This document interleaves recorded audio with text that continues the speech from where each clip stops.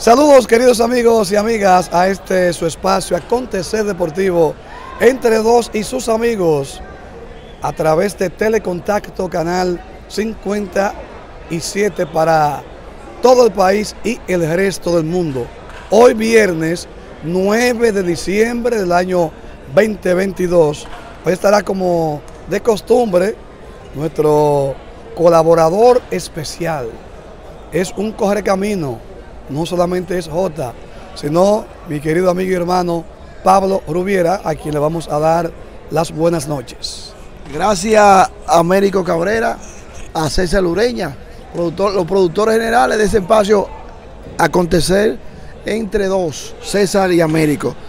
Américo, en el día de hoy, la Federación Dominicana, la FEDOVE, nos hace una invitación a la crónica deportiva del país, convocando se complacen invitar a los medios de comunicación a la rueda de prensa que sostendremos para ofrecer importantes informaciones del equipo de la República Dominicana que estará participando en el Clásico Mundial de Béisbol del año 2023.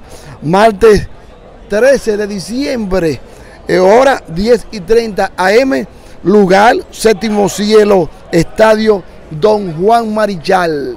Contamos con su presencia. Bueno, no sé si el presidente estará presente en esos detalles de FEDOVE con relación al equipo de béisbol de la República Dominicana que estarán en marzo en Miami y ya una parte, gran parte de la República Dominicana está comprando las boletas para ir al clásico, boletas, pero aún, y no hay boletas ya pero aún todavía no se ha abierto el proceso de acreditación para los periodistas del país y que van a acudir al llamado de la patria. También, como de costumbre, Lidón siempre envía su boletín informando lo que los movimientos en Lidón 2022-2023 y donde en el día de hoy, en la recta final, nos encontramos ya en la recta final del torneo con dos equipos clasificados pero sin la posición de privilegio definida.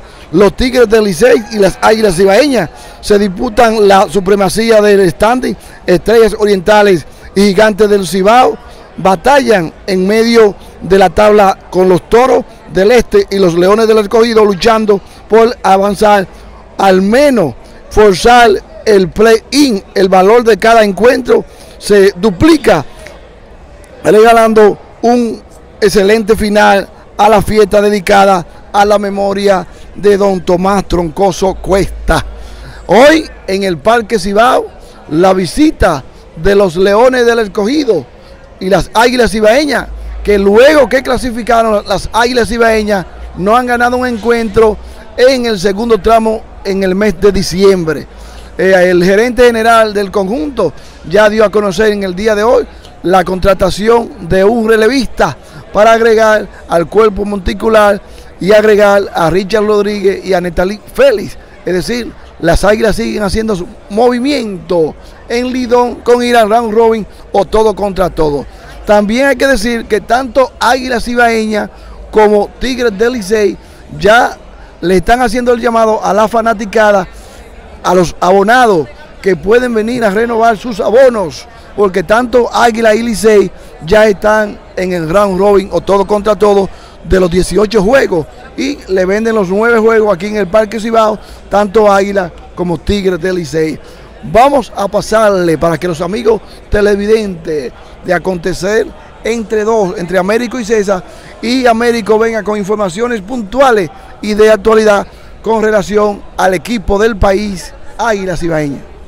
Gracias a Pablo Rubiera. Antes de vamos a presentarle dos entrevistas que nuestra compañera y colega Sobeida Rivas realizó una a Gregory Soto, que es un factor de importancia para las Águilas, lanzador de primera, y sobre todo a Gerardo Perdomo. Adelante, Jonas, con estas dos entrevistas.